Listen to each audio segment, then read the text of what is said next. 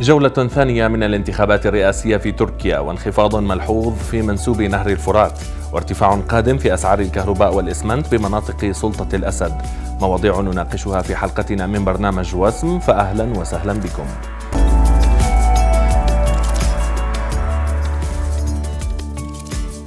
أهلا بكم مشاهدينا الكرام في برنامج وسم والذي نناقش فيه أهم القضايا التي يحكيها السوريون أو يعلقون عليها على وسائل التواصل الاجتماعي المختلفة. احتشد عشرات المواطنين من أنصار حزب العدالة والتنمية في العاصمة التركية أنقرة للقاء الرئيس رجب طيب أردوغان وذلك بعد فوز حزب التحالف الحاكم وحزب العدالة والتنمية بالأغلبية البرلمانية. وتقدم الرئيس أردوغان خلال انتخابات الجولة الأولى من الرئاسة على باقي منافسيه. نتابع هذا الفيديو من أنقرة.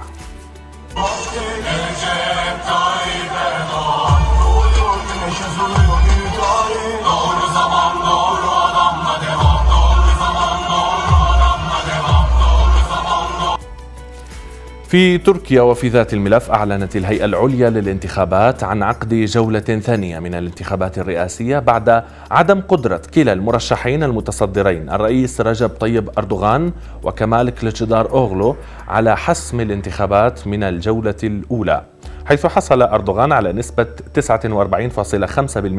في حين حصل منافسه كلشدار أوغلو على 44.9% إليكم أبرز التعليقات التي رصدناها حول هذا الموضوع وهي كثيرة من أتراك وسوريين وعموم جمهور مواقع التواصل الذي يتابع بشغف هذه الانتخابات. زكريا ترك يقول المعارضة لعبت على موضوع اللاجئين واستغلته جيدا وأردوغان يخسر كثيرا بسبب ملف اللاجئين. المرجو من كل المقيمين في تركيا الابتعاد عن المشاكل والتجمعات في هذه الأيام وعدم الدخول في أي نقاش مهما كان نوعه والكلام لزكريا. تعليق آخر من علي أبو لؤي يقول لو كان المرشح واحد مثل عن عدنا كان من الجولة الأولى انتهت. ويشير إلى الوضع في سوريا. أما أميرة زياد فتقول لو عنا بسوريا كان طلعت النتيجة قبل الانتخابات للدكتور بشار الأسد تقول ساخرة. للحديث أكثر حول هذا الموضوع ينضم إلينا السيد باسل حفار مدير مركز إدراك للدراسات من إسطنبول. أهلا بك معنا سيد باسل. كيف تقرأ نتيجة الانتخابات في تركيا سواء البرلمانية أو الرئاسية؟ نعم تحية لكم وللمشاهدين الكرام. الحقيقة يعني هي مرت آه، آه، الأيام القليلة الماضية بواحدة من ربما أعقد آه، أكثر الانتخابات استقطابا في تاريخ آه، وكان هناك كما اظهرت الأرقام لاحقا أن حجم المشاركة تجاوز أعداد كبيرة جدا تجاوز 85 أو 87% آه، النتائج التي كانت إلى حد ما ليست مفاجئة لكن ليست أيضا تماما التوقعات آه، التقدم الذي حققه حزب التحالف الحاكم أو تحالف الجمهور في البرلمان كان لافتا. آه، خصوصا وأن هناك الكثير من الاستطلاعات والتوقعات لم تكن تشير إلى تقدم كبير في هذا المسار اللي هو الانتخابات البرلمانية. النتيجة بما يخص الانتخابات الرئاسية كانت إلى حد كبير آه، مقاربة للتوقعات، أغلب التوقعات كانت تشير إلى آه، الذهاب إلى جولة ثانية أو على الأقل الفوز بنسبة بسيطة لكن الآن كما يعني هو معروف أصبح أو تقرر أنه الذهاب إلى جولة ثانية فيما يخص الانتخابات الرئاسية. اللافت الامر في هذه النتائج أنه آه، آه، الشعب التركي أو عموم الشعب التركي آه، ليس يعني لديه تأييد كبير لتوجهات أو ل هناك شعبية متنامية لحزب العدالة والتنمية وهذا ما اكدته الانتخابات البرلمانية. لكنه بنفس الوقت هو المدن الكبيرة بالذات مثلا إسطنبول لديها تحفظات كبيرة على القرارات التي يحملها الرئيس على عاتقه مثل قرارات متعلقة بإدارة الازمه الاقتصاديه وربما قرارات متعلقة بقضايا متعلقة بالسياسة الخارجية التركية. ولذلك من الواضح أنه جمهور واسع واسع من الشعب التركي خصوصا في المدن الكبرى إسطنبول أنقرة ازمير وغيرها. آه، حمل أو آه، لم يصوت إلى للرئيس التركي وحمله تبعات آه، هذه هذه القرارات التي يتخذها سواء بالمعنى الإيجابي أو بالمعنى آه، السلمي. هذه الأساسية التي يمكن الإشارة إليها إستخلاصها من النتائج آه، طيب. لكن طبعا هناك أيضا قضايا أخرى تتعلق بمصير طيب سنتحدث عن هذا الموضوع الآن في يعني عدد كبير من الناس على مواقع التواصل تجلس وتترقب ما سيحصل في الفترة اللاحقة من دافع الفضول. الآن هناك جولة ثانية رئاسية. ماذا يمكن أن نقول للناس حول حظوظ كلا الطرفين في الجولة الثانية؟ رجب طيب أردوغان وكمال كلشدار أوغلو يعني هو آه، حظوظ الرئيس أردوغان بالتأكيد أكبر بكثير. المؤشرات واضحة بهذا الاتجاه. بداية هو أساسا في الانتخابات الحالية حصل على نسبة أعلى بفارق آه، يعني نسبيا يعتبر كبير مع منافسيه كريجدان اورو الأمر الآخر آه، نسبة حضور أو تفوق حزب العداله والتنمية وحلفائه في البرلمان كبيرة. المؤشرات الأخرى آه، في الميدان لا تشير إلى قدرة كليدار أغلو والمعارضة على تحقيق المزيد أو آه، عدد أفارق كبير من الأصوات عن, عن الذي حققوه في هذه آه، الجولة. يعني معظم المؤشرات على الأقل حتى الآن تشير إلى تفوق أو إلى أو احتمالية تفوق الرئيس أردوغان أكبر بكثير من تفوق منافسيه منافسيه طيب إلى أي حد يمكن للمعارضة التركية أن تتحرك آه، مستقبلا ضد التحالف الحاكم؟ المعارضة التركية الآن آه، لا أظنها قادرة كثيرا على التحرك ضد التحالف الحاكم لأمرين أساسيين الأمر الأول أنه أساسا حصة المعارضة الآن في البرلمان آه، يعني تعتبر أقل بكثير من مما حتى توقعته المعارضة نفسها وبالتالي هذا يقيد من قدرتها على التأثير في آه، أنظمة الدولة بشكل عام وفي التحالفات والمشهد السياسي بشكل عام. الأمر الآخر أن المعارضة الآن تواجه العديد من التحديات بخصوص مسألة تماسكها. آه، هناك الكثير من النقاشات تدور داخل أروقة هذه المعارضة وهناك تبادل الاتهامات من المسؤول عن الفشل الذي حصل سواء على مستوى نسبة الفشل على مستوى الرئاسي أو على مستوى الانتخابات البرلمانية التراجع الكبير الذي حصل خصوصا وأنه كانت هناك وعود وتوقعات وحتى يعني نتائج مبكرة أعلنت عنها المعارضة بأنها متفوقة ثم ظهر أن هذه النتائج غير صحيحة. اليوم مثلا هناك أخبار متداوله عن استقالة آه، مسؤولين في الحملة الانتخابية وعن مستشارين إعلاميين وعن رموز معينة داخل تحالف المعارضة وما إلى ذلك، يعني باختصار هناك نقاشات كثيرة تدور حتى حول طريقة توزيع المقاعد في حصلت على المعارضة. باختصار تماسك المعارضة الآن يمر بتحدي أو بأزمة ليست بالهينه وبالتالي هذا يضعف من قدرته على التاثير أيضا بالمشهد السياسي أو التأثير على تحالف حزب الحاكم الذي هو على العكس حصل على مقاعد متقدمة في البرلمان، الأحزاب التي دخلت إلى جانب حزب الحاكم رغم انه أحزاب جديدة حصلت على نسب ليست بالهينه في نسبيا بالنسبة لأحزاب جديدة قادمة إلى البرلمان آه، وحققت حضورا أكثر حتى من كانت تتوقعه لها استطلاعات الرأي وما إلى ذلك، لذلك يبدو قدرة المعارضة على التأثير في المشهد بشكل عام وعلى التأثير بالأطراف الأخرى أضعف بكثير عما كانت عليه سابقا. طيب بالنسبة للسوريين ممن يتابعون الآن ما هي السياسة المتوقعة حيالهم بالنظر إلى التصريحات الإيجابية من الرئيس التركي حيالهم قبيل الانتخابات وأيضا تصريحات المعارضة؟ نعم يعني أنا قلت سابقا واكرر دائما ملف هنا يعني هناك العديد من الملفات طبعا اللي تعنى بها السياسة الخارجيه والداخليه التركيه ملف اللاجئين واحد منها هي ملفات أكبر من موضوع الانتخابات بمعنى أن القرارات أساسية وتوجهات الدولة فيما يخص هذه الملفات وخصوصا منها ملف اللاجئين وأوضاع السوريين وغيرها. هي قرارات أخذت على مستوى آه، مجلس الأمن القومي التركي وليست على مستوى حزب معين أو على مستوى حكومة معينة.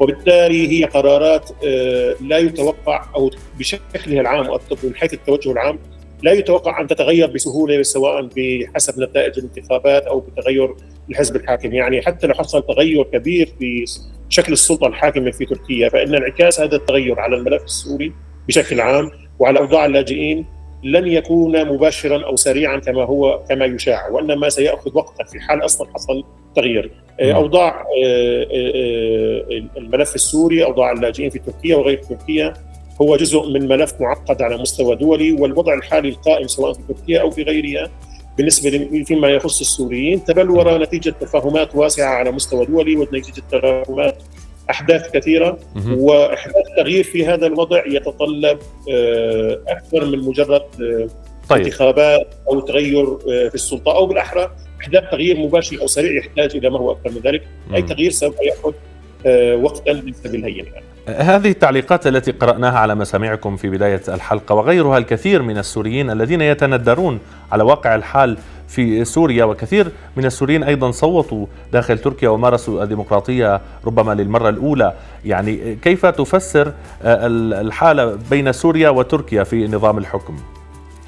نعم يعني هو طبعا آه، يعني بالتأكيد حجم الفارق الكبير بطريقة إدارة الأمور في بلد مثل تركيا وبلد آه، ويعني وطريقة إدارة الأمور من طرف النظام في سوريا يعني طبعا يعني فعلا هي مسألة يعني لدى المقارنة تستحق التندر. آه، حال الفرق الشاسع بين احترام قرار المواطن هنا في تركيا المشهد السياسي حجم يعني التجربة الديمقراطية ونضوجها الثقافة السياسية والوعي السياسي والإدراك السياسي الموجود في أذهان الناس في أذهان الشعب الذي تراكم عبر سنوات من الممارسة السياسية وما إلى ذلك. يعني فرق طبعا شاسع جدا بين بين الطرفين وبالتالي يعني من الطبيعي أن يتحول إلى نوع من آه، التندر خصوصا بالطريقة التي يدير بها النظام. يعني النظام حتى لا يتعب نفسه في آلية إخراج آه، أو في طريقة الإخراج. يعني هو حتى يعني حتى أسلوب الإخراج هو من النوع السيء.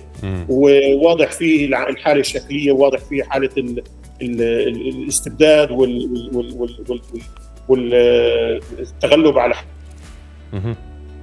وعلى كل ما يخص المشهد السياسي في في المشهد في المساله السوريه، لذلك ليس مستغربا أن تكون المساله المقارنة بين المشهدين يعني محط تندر لدى شريحة واسعة جدا من آه، المتابعين أو من السوريين أو أي جهة تحاول أن يعني تتابع كلا المشهدين وكيف تدار الأمور آه، في بلد مثل تركيا وفي الحاله السوريه.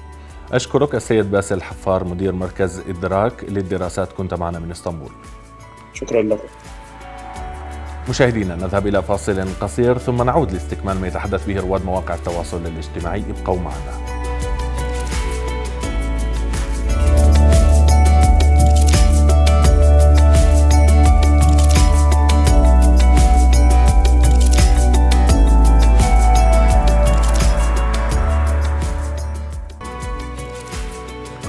أهلا بكم مجددا مشاهدينا الكرام في برنامج وسم الذي نرصد فيه لكم أهم ما يتداوله رواد مواقع التواصل الاجتماعي. تداول رواد مواقع التواصل مقطع فيديو يظهر انخفاضا ملحوظا في منسوب نهر الفرات، نتابع.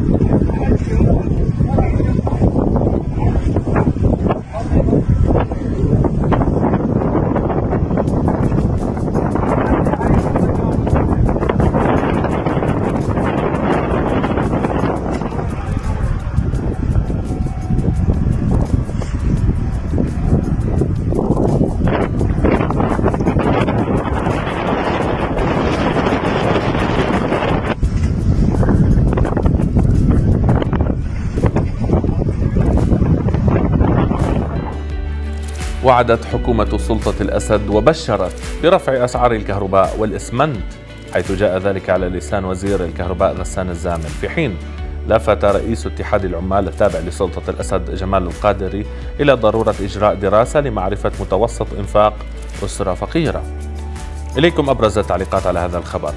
فادي التقي يقول في هذا التعليق الأمل الوحيد استيقاظ الحالمين ويشير إلى سوء الوضع المتدهور باستمرار في مناطق سلطة الأسد. أما تيم أبو عاصي فيقول وطن موت بطيء إخلاص. ربما يشير إلى شعار آه، آه، قوات آه، سلطة الأسد. أما أبو مروان فهد العطواني فيقول أول الرقص حنجلة والقادم أعظم. وأبو هاشم أبو شقرة يقول خلص الحكي وبعدين لوين رايحين؟ ينضم إلينا السيد فراس شعبو المحلل الاقتصادي من غازي عنتب. أهلا بك معنا سيد فراس. برأيك لماذا تستمر سلطة الأسد برفع الأسعار في مناطق سيطرتها رغم التطبيع مع بعض الدول العربية والذي من الممكن أن يدر عليها بعض المعطيات؟ تحية طيبة. موضوع التطبيع آه، اقتصاديا أخذ أكثر من حجمه بكثير. يعني الموضوع هو تطبيع سياسي لم يتحول إلى تطبيع اقتصادي وأعتقد انه في المدى المنظور لن يكون له أي مردود آه، على الأرض. الوضع الاقتصادي في سوريا يعني متدهور تماما ولا تستطيع أي دولة معالجة ما تعانيه سوريا ومعالجة ضعف الاقتصاد السوري. هذا إذا اعتبرنا أن النظام سوف يوافق على جميع الشروط الدول التي سوف تطبع معه. يعني هذه الدول لديها شروط. لديها رغبات يجب أن تتحقق في الداخل السوري حتى يستطيع أو حتى تقبل بضخ الاموال هذا كمان بفرض هنالك موافقة أمريكية وموافقة غربية على هذا الموضوع. يعني الموضوع ما زال بعيد جدا اقتصاديا. ما يجري اليوم هو عبارة عن آه، تطبيع سياسي محاولة خطوة أولى لإنعاش آه، العملية السياسية بشكل أو بآخر مع النظام بعد أن آه، يعني طرأت مستجدات خاصة بالنسبة لدول الخليج وواقع المنطقة. بالنسبة لدول الخليج اليوم ليس لديهم مشكلة في بقاء النظام ولكن لديهم مشاكل أخرى هم مشاكل داخلية ولديهم مشاكل مع الكبتاغون وإلى آخره. بالتالي هذا الأمر لن يساهم في إعادة إحياء النظام اقتصاديا. لا تستطيع لا دولة ولا دولتان لا السعودية ولا الإمارات ولا البحرين ولا مصر لا تستطيع هذه الدول إنقاذ الاقتصاد السوري، أنت بحاجه إلى مئات المليارات من الأموال وليس بضع مليارات، يعني اليوم إذا دخل 4 5 مليار بين النظام السوري لن يتغير شيء. هذا بفرض أنها دخلت إلى الحكومة السورية ولم تدخل إلى مؤسسات تابعة للأسد أو إلى آه، آه، ميليشيات أو فساد أو ما هنالك. يعني اليوم هنالك فرق ما بين النظام كأفراد وما بين المؤسسات الدولة، مؤسسات الدولة تتهالك تتداعى. أفراد النظام ومن يدورون في فلك النظام تزيد ثروتهم بشكل كبير جدا، وهذه مشكلة يعني اليوم الدول التي ترغب في التطبيع من المؤكد أنها تدرس الحاله الاقتصاديه السوريه من ناحية الانفلات الأمني، من ناحية عدم توفر بنى التحتيه، عدم توفر أنظمة وقوانين. اليوم أصغر ميليشياوي في آه، السوري يمكن له أن يغلق أكبر مؤسسة، فبالتالي كيف كيف كيف نتحدث عن أموال وعن استثمارات؟ وأنت لكن سيد فراس يعني الحكومات المقومات الأساسية اللازمة لاي عمليه استثماريه في في العادة الحكومات تبشر مواطنيها بحلحلة بانفراجة بأي شيء. حكومة سلطة الأسد تبشر الناس بالارتفاع ارتفاع الأسعار والتدهور. يعني حكومة الأسد حتى ما قبل الثورة ما كان يهمها موضوع الافراد موضوع الدخل موضوع المستوى المعيشي ومستويات الدخل. هذا أمر بالنسبة لهم هو أمر ثانوي. ولن يتغير الموضوع خلال فترة الثورة يعني. استمر النظام في سياسة آه، تجاهل احتياجات المواطنين والعمل على عكس ما يرغب المواطن. يعني وين بتشوف قرارات هي ضد المواطن فالنظام يسارع لاتخاذها من رفع أسعار من زيادة معدلات ضريبه من رفع دعم من زيادة أسعار المواد المحروقات م. إلى زيادة أسعار الأسمدة وبالتالي أنت فعليا تساهم في تدمير الاقتصاد وتدمير الحياة الاقتصادية للمواطنين. طبعا البعض يتحجج أن الوضع الاقتصادي في سوريا سيء أن تداعيات الليرة. صحيح تداعيات الليرة تفرض نفسها على الشركات ولكن أيضا تفرض نفسها على الأفراد. فأنت عند اليوم عندما تقول أنني سوف أرفع الأسعار يجب أن يكون لديك سياسه موازيه برفع الأجور ويجب أن يكون رفع أجور حقيقي وليس رفع أجور وهمي. لا يعني اليوم نتحدث عن مواطن راتبه لا يتجاوز 30 دولار. هذا يعني في أحسن الأحوال. فما بالك ماذا سوف تستطيع أن تفعل هذه 30 دولار أو 20 دولار في بيئة ارتفاع الأسعار فيها يعني لا يتوقف آه، انخفاض العملة لا يتوقف. بالإضافة يعني يعني فوق إنه في آه، تدهور في آه، قيمة العملة وارتفاع في أسعار السلع. يقوم النظام برفع أسعار المواد الأساسية والمحروقات ورفع الدعم. وبالتالي عندما نرفع أسعار الكهرباء ونرفع أسعار المحروقات والإسمنت أي أننا سوف نشاهد ارتفاع في أسعار البناء. طيب. وارتفاع في أسعار النقل. وارتفاع في أسعار المواد الأساسية. وبالتالي أنت بشكل أو بآخر حكمت على الاقتصاد بالتضخم بشكل كبير جدا خلال الأيام القادمة. طيب سيد فراس كيف يمكن الآن لسلطة الأسد أن تستوعب هذا التدهور وأيضا أزمة العملة؟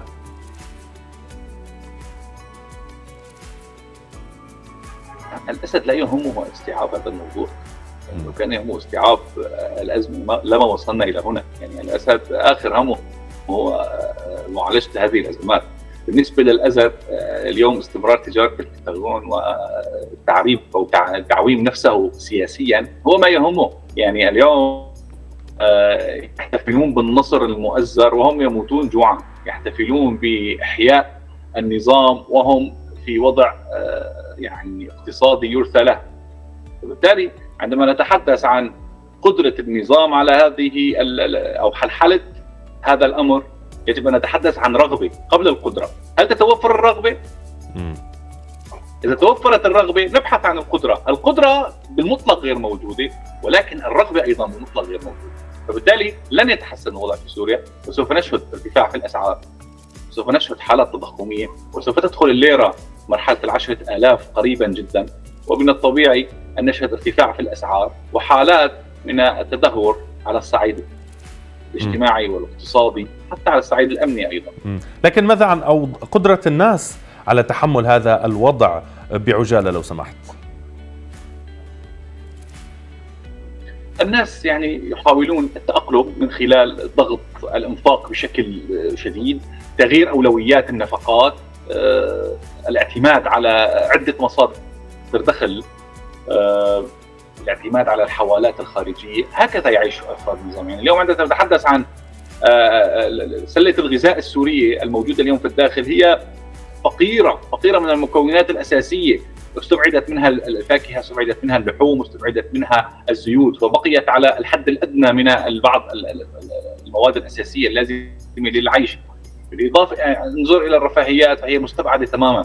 الشعب السوري اليوم يحاول آه، الاعتماد على ما بقي لديه من مدخرات بالإضافة إلى آه، العمل في عدة مجالات لتحسين مصادر الدخل آه، والعمل الاعتماد على الحوالات بشكل يعني كبير جدا. 70 إلى 80% من الشعب السوري اليوم يعتمد على يعتمد على الحوالات الخارجية. طبعا هذه الحوالات يعني نعم. بالمتوسط لا تتجاوز ال 50 إلى 60 أو 70 دولار وسطيا.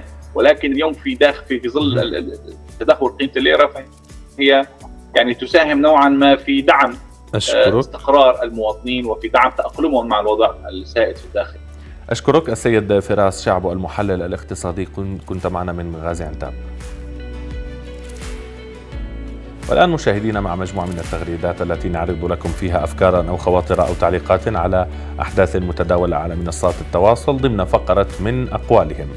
نبدأ بهذه التغريدة من الشاعر السوري أنس الدغيم الذي يشرح أنه شارك في هذه الانتخابات فيقول انتخابات تركيا أدليت بصوتي في الانتخابات التركية بعيدا عن نخش الإصبع بالدبوس وعن بالروح بالدم نفديك إياه وعن النعم الحقيرة الذليلة التي تأتي تحت البسطار العسكري والكلام لأنس أدغيم.